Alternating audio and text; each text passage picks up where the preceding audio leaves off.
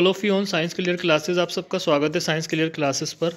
और आज हम क्लास नाइन्थ का जो टेस्ट होगा एमयू का 2021 के लिए, उसके लिए लेक्चर फोर लेकर आए हैं। तो बहुत सारे बच्चों ने डिमांड की थी कि सर लेक्चर नहीं आ रहे हैं। तो अब से आपको लेक्चर मिलेंगे। और लेक्चर फोर आज हम साइंस का लेकर आए हैं और इसमें हम जो डिस्कस करेंगे, वो चैप्टर टू को डिस्कस करेंगे।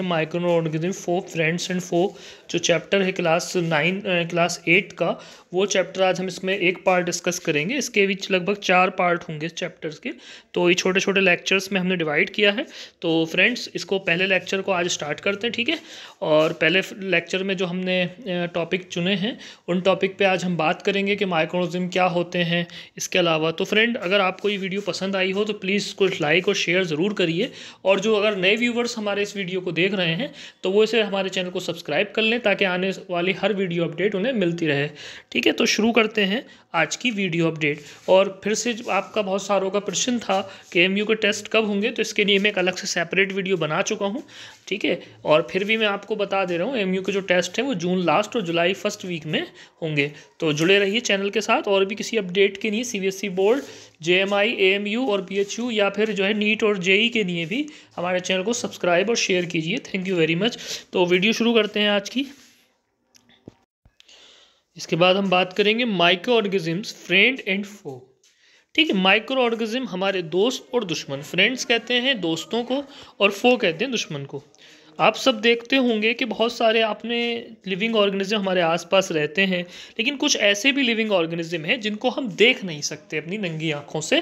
जब तक उस पर कोई स्पेक्टिकल्स या फिर कोई माइक्रोस्कोप वगैरह ना लगा हो, तब तक हम उन्हें देख नहीं सकते। तो उन सब का जो, उनका जो सबको कहते हैं, उन्हीं सबको कहते हैं माइक्रो ऑर्गेनिज्म या फिर माइक्रोब शॉर्ट में। ठीक है? जैसे आपने देखा होगा कि रेनी सीज़न में जो होती है ब्रेड स्पॉइल्ट हो जाती है और सरफेस पर जो है ग्रेइश वाइट पेचेस आ जाते हैं। ये पेचेस अगर आप मैग्नीफाइंग ग्लास से देखेंगे तो आपको ब्लैक राउंडेड स्ट्रक्चर दिखाई देंगे और ये स्ट्रक्चर कहाँ से आती हैं? तो ये स्ट्रक्चर असलियत में जो है बच्चे, ये स्ट्रक्चर्स जो होती हैं, वो फंगी होती हैं। क्या होती हैं स्ट्रक्चर फंगी होती हैं, जिससे जो है क्या होता है कि उस पर जो है ब्रेड पर जो है ये फ्लैश उसकी जो है राउंड कलर से फ्लैश आ जाती हैं। तो माइक्रोनोजगिज्म में एक एक्टिविटी है तो एक्टिविटी तो हमें यहाँ नहीं समझनी, क्योंकि हमें जो एक्टिविटी से नहीं मतलब है। तो ये ऑब्जर्वेशन अगर आप देखेंगे वाटर्स में सॉइल्स में तो आपको टिनी ऑर्गेनिज्म मिलेंगे, जो कैटेगरी में माइक्रोब्स की नहीं आते। लेकिन ये माइक्रोब्स आपको इतने छोटे होते हैं कि आपको उनको देख नहीं सकते। ठीक है? आप बिना अनएडेड आई अनएडेड आई से मतलब है कि आपको जब तक आँख पे कोई स्पेक्टिकल या फिर कोई माइक्रोस्कोप या अच्छी लेवल का या कोई अच्छे लेवल का मैग्नीफाइंग ग्लास नहीं है, तब तक आप उसे देख नहीं सकते। तो सम ऑफ़ दिस जो इसमें से कुछ ऐसी चीज़ें हैं, जैसे फंगस है, जो ब्रेड पे होता है, आप इसे मैग्नीफाइंग ग्लास से देख सकते हैं और आप जो है माइक्रोस्कोप से भी इसको देख सकते हैं। ऐसा जो है माइक्रोनोजिम और माइक्रोब्स कहलाते हैं।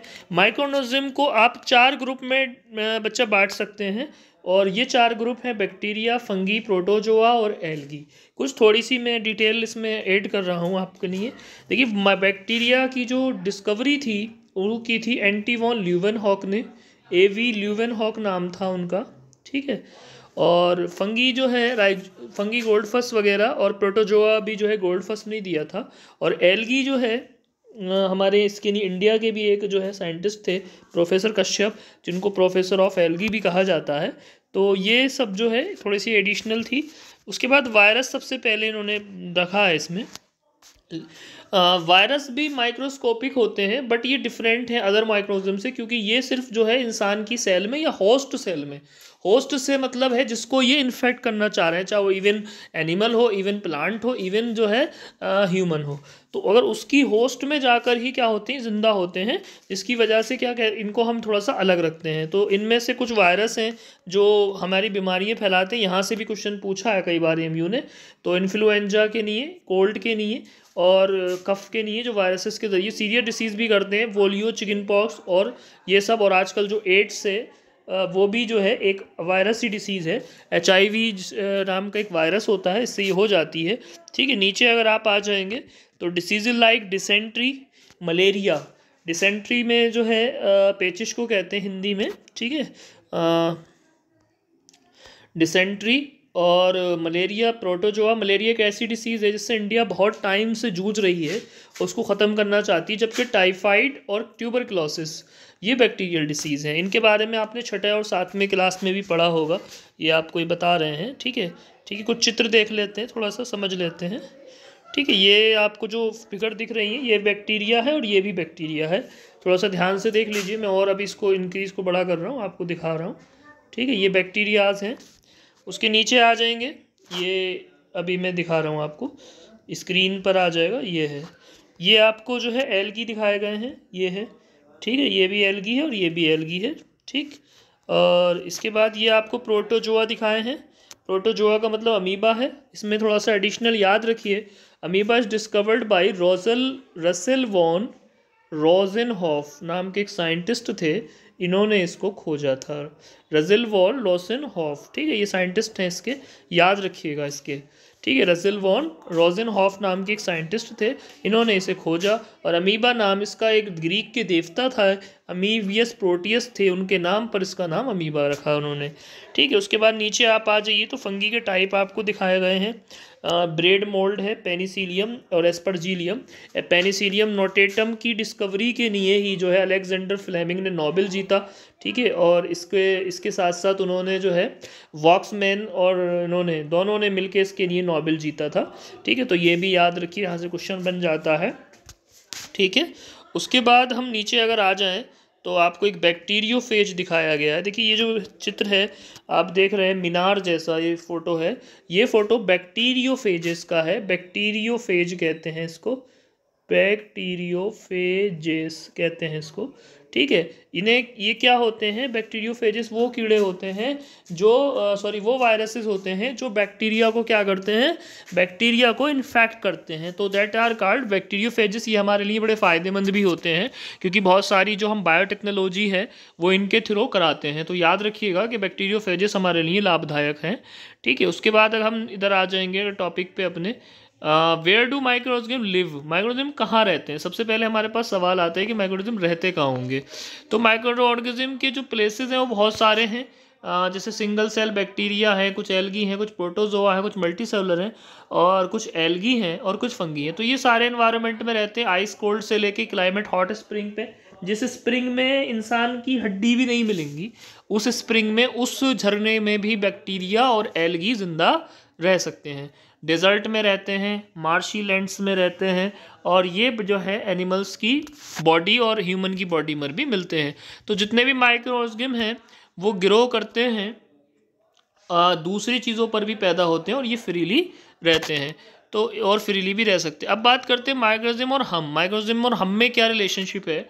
तो माइक्रो जो है एक इंपॉर्टेंट रोल प्ले करते हैं हमारी ज़िंदगी में। वो हमारे लिए कुछ बेनिफिशियल भी हैं और कुछ हार्मफुल भी हैं जो डिसीज़ को देते हैं, जो हमारे अंदर डिसीज़ करते हैं तो हम थोड़ा सा इसी को पढ़ेंगे, ज़्यादा डिटेल में अभी नहीं जाएँगे, हम सिर्फ़ इसको थोड़ा सा पढ़ेंगे।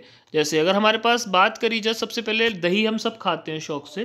क्या आपको पता है, दही जमाने का काम लैक्टोबेसिलस नामक बैक्टीरिया करता है, जिससे दही जम जाते हैं। यदि आप दही को आप अपने जो है माइक्रोस्कोप से देखेंगे तो आपको लगेगा कि उसमें जो है ला, हज़ारों लाखों बैक्टीरिया होते हैं, जो आप खाते हैं। अगर आपने जो है चीज़ खाई है तो ये भी बैक्टीरिया की ईजाद है बैक्टीरिया से ही चीज़ बनती है। अगर आप पिकल्स खाते हैं तो इसके लिए भी जो है ज़िम्मेदार हैं। यदि आप जो है इडली खाते हैं, इडली और भाता रस खाते हैं, ये भी सब जो है बैक्टीरिया की मदद से ही संभव और इसकी मदद से संभव हो पाता है। ठीक है, उसके बाद हम बात करते हैं, ईस्ट जो है कैसे इतनी संख्या बढ़ा लेती है। ईस्ट रिप्रोड्यूस होती है रैपिडली और प्रोड्यूस करती है कार्बन डाइऑक्साइड को ड्यूरिंग रेस्पिरेशन जिससे क्या होता है कि बबल्स वो निकलते हैं और ये बफल जो है डफ बनाती है, खमीर बनाती है, इसे आप नॉर्मल भाषा में खमीर कहते हैं और इसका वॉल्यूम बढ़ा देती है। तो इस बेसिस पे जो यूज़ है ईस्ट का, वो बेकिंग इंडस्ट्री में किया जाता है ब्रेड्स बनाने के लिए और पेस्ट्रीज़ और केक बनाने के लिए। तो यहाँ से भी क्वेश्चन कई बार बन चुका है तो इसको भी याद रखिएगा कि इसका इस्तेमाल क्या हो सकता है। कुछ कमर्शियल यूज़ भी पकड़ लेंगे माइक्रोजिम का। सबसे पहला कमर्शियल यूज़ है माइक्रोजिम का। ठीक है, ये थोड़ा सा समझनी है हमें। माइक्रोनिज्म को यूज़ किया जाता है लार्ज स्केल पे प्रोडक्शन ऑफ़ एल्कोहल सबसे पहले याद रखिएगा, शराब बनाने के लिए इसका इस्तेमाल होता है वाइन एसिटिक एसिड यानी सिरका बनाने के लिए. ईस्ट का इस्तेमाल कमर्शियल प्रोडक्शन ऑफ़ एल्कोहल और वाइन के लिए किया जाता है. इस पर्पस के लिए ईस्ट को जो है नेचुरल शुगर में ग्राउंड किया जाता है और फिर या फिर जो है इस तरह के दाने लिए जाते हैं बारले लिया जाती है वीट ली जाती है राइस ली जाती है या फिर क्रश फ्रूट के जूसेस लिए जाते हैं. तो इस तरीके से जो है हमारे लिए ये बेनिफिशियल होते हैं। एक चैप्टर इस चैप्टर का पूरा होल डिवीज़न मारते हैं, ठीक है? क्योंकि आ, क्योंकि आज के लेक्चर में इतना ही है, ठीक है? माइक्रोजिम क्या होते हैं, जिन्हें आप जो है नंगी आँखों से नहीं देख सकते दैट आर माइक्रोजिम ठीक है माइक्रोजिम कहाँ जो है क्या क्या होती हैं क्या क्या कैटेगरी होती हैं उनकी चार कैटेगरी हैं बैक्टीरिया फंगी प्रोटोजोआ और एलगी वायरसेस को भी उसी में काउंट कर सकते हैं लेकिन इसलिए नहीं काउंट करते क्योंकि ये बाहर लिविंग नहीं होता। आ, किसी भी होस्ट सेल में ही जाके लिविंग बनता है तो इसलिए जो है हम इसको अलग से काउंट करते हैं ठीक है। तो वायरसेस जो है माइक्रोस्कोपिक तो हैं बट ये थोड़ा सा अलग सी वो रखते हैं लाइफ के अंदर चेंजेस रखते हैं तो इसलिए इनको हम अलग काउंट करते हैं ठीक है। वायरस से भी बहुत सारी डिसीज़ होती है कॉमन कोल्ड हो जाती है इन्फ्लुएंजा हो जाती है, कफ हो जाता है, ये सब वायरसेस की डिसीज़ हैं और बहुत ख़तरनाक डिसीज़ पोलियो चिकन और एड्स भी इसी से होती है। अगर हम प्रोटोजोन की बात करें तो डिसेंट्री और मलेरिया इसी से होती है। अगर हम बैक्टीरिया की बात करें तो ट्यूबर क्लोसिस टाइफाइड इसी से होती है। ठीक है, इस वीडियो के लास्ट में हम ये भी बताएँगे यानी थर्ड लेक्चर में इसके थर्ड जो पार्ट होगा इस वीडियो का। तो उसमें हम यही बताएँगे कि जो है, ये आपके दोनों चित्र जो हैं बैक्टीरिया के शो करते हैं, ये एलगी को शो करते हैं इधर वाले। ये दोनों। और इधर के दो जो हैं, ये आपके अमीबा को शो करते हैं। ये सारे फंगी हैं। पेनिसिलिनियम की डिस्कवरी अलेक्जेंडर फ्लेमिंग ने की थी और वॉकमैन ने इसको जो है बनाया था। इसको इन दोनों को इसके लिए इनाम मिला नोबेल का पुरस्कार मिला। ये बैक्टीरियोफेजेस है। बैक्टीरियोफेजेस क्या होते हैं? बैक्टीरियोफेजेस जो होते हैं, ऐसे वायरसेस होते हैं जो बैक्टीरिया को इन्फेक्ट कर देते हैं, ठीक है? उनको बैक्टीरियोफेजेस कहते हैं, ठीक है?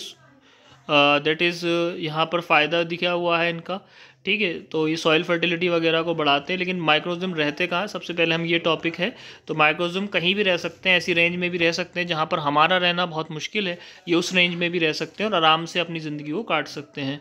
माइक्रोजम का हमसे क्या वो है तो हम जितने दही खा रहे हैं, हम जितनी चीज़ें आजकल खाते हैं, ये सब इसके लिए ज़रूरी है, और जितनी भी चीज़ें हम जो है लगभग ले रहे हैं, उसमें सब में बैक्टीरिया का कहीं ना कहीं रोल है, जो दही हम खा रहे हैं, उसमें भी लैक्टोबेसिलस का बहुत बड़ा रोल है, और इसमें जो है मैनी फ़ूड आइटम्स वगैरह, सूजी, रवा जो हम बना रहे हैं, ये भी सब जो है हमारे बैक्टीरिया या जो है छोटे छोटे माइक्रोजम से ही पॉसिबल हो पाया है। तो मैं समझता हूँ आज का जो पार्ट है वीडियो का, वो कंप्लीट हो गया है और ये लेक्चर फोर जो था क्लास नाइन्थ का जो है कंप्लीट हो गया है और नेक्स्ट लेक्चर जो अगली वीडियो में आपको मिलेगा। तो जो है इस वीडियो को ज़्यादा से ज़्यादा शेयर और सब्सक्राइब कीजिए। Thank you very much to watch the full video